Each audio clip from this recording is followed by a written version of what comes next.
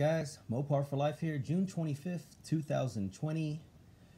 I am seated right here with my newly acquired fridge. This is the GDM-10. I actually picked this up from a neighbor's house. Uh, they threw it out on the street right before trash day. Said it was no longer working. But for me, finding a piece of junk like this is obviously just another treasure. So I decided to go grab my truck, pick it up, throw it in the back, bring it back home, slide it into the garage, start it up to see what was wrong with it. So with that being said, I'll give you a close-up of what this looks like.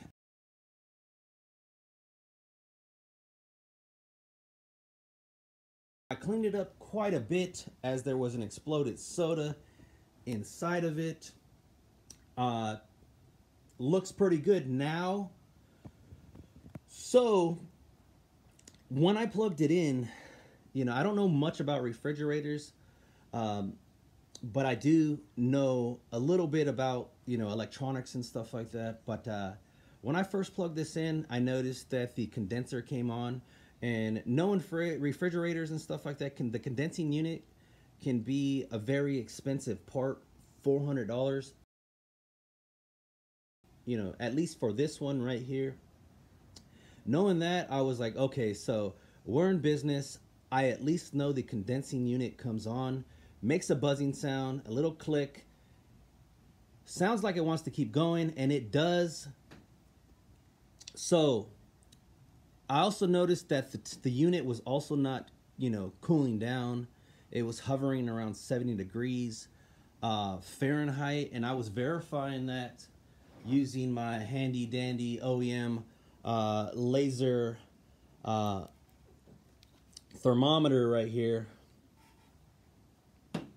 And uh, it was hovering around 70 degrees, like I said. So I went down, opened up the bottom piece here, started cleaning it out, cleaned out the coils. Coils were full of dust a little bit of debris, vacuumed the whole inside out, pulled off the back there on the unit, and I'll take you around to the back to show you what it looks like. Um, took out the pan here. I didn't clean out the pan yet, but uh, this is the back right here. And as I show you here, this is the condenser right here, this black kind of tank cylinder looking thing here. Uh, it was running, it was good to go. Uh, one thing I did notice though was that the fan, and I'll show you the fan right now if I can. Okay, the fan is right in the back in this area right here. If you look past this uh, styrofoam um, hose and look towards the back, you'll see the fan. Fan was not moving simultaneously uh, on startup with the condensing unit. And uh, after doing some reading and some research and stuff like that, I know the fan is supposed to be on during startup. Uh, and anytime the condensing unit turns on uh, to cool the unit. So after doing a little bit of more, little more research, you know, um, someone told me to go ahead and uh, give the fan a push, a little tug, to see if you can kickstart it. I guess uh, something with the starting capacitor, and that's this piece right here. This piece right here that is on the condensing unit could be failing or all together just have failed. But uh, the job of that is to pretty much provide the torque to get that electric motor going. And uh, if it's not working properly, obviously the motor is not going to kick on and the fan is not going to run when the condensing unit is on. So what I'm gonna do right now and show you how I verified that, like I said, I just gave it a tug. I'm gonna turn my unit on and you're gonna hear a little hum and a click. And that's basically from the um, uh, condenser coming on. So I'll go ahead and uh, I'll do that right now So you know what I'm talking about. And take a look back there. Take a look back there in this area right here. You're gonna see that fan. It's not gonna come on. So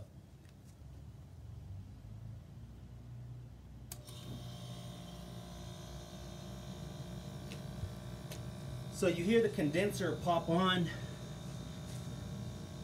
Fan in the black. The fan in the back is not rotating at all when it should be. So I don't think the capacitor, the starting capacitor, fired it at all. So I'm gonna give it a little bit of a push to see if I can kickstart it per se.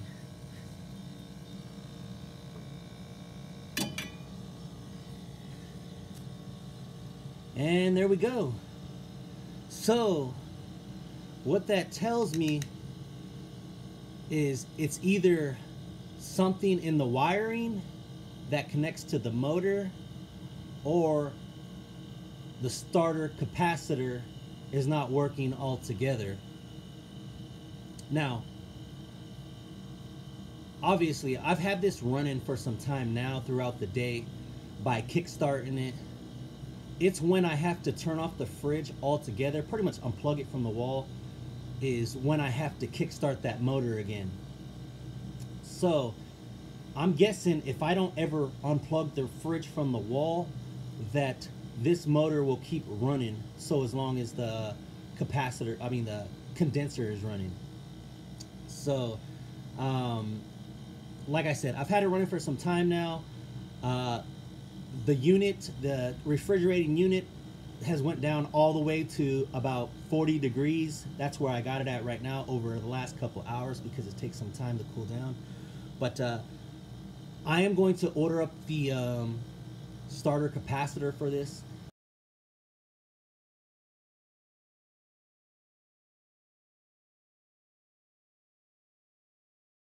And if you look, um, right before you, I'm going to show you the price of it. I think I found it for, and that's the piece.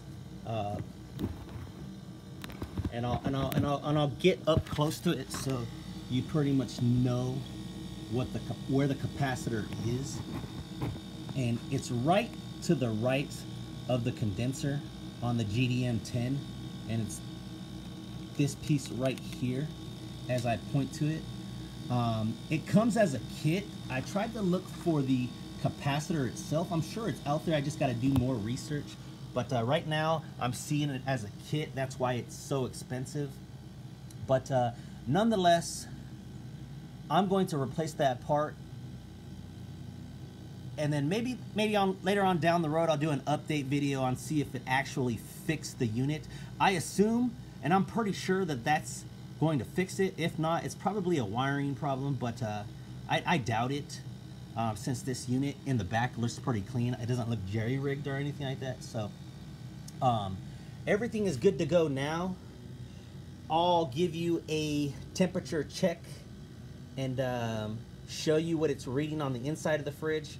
But um, yeah, so this is pretty much a come up for me. I mean, I put nothing into this fridge at all. It was thrown on the curb. Like I said, somebody else's junk became my treasure.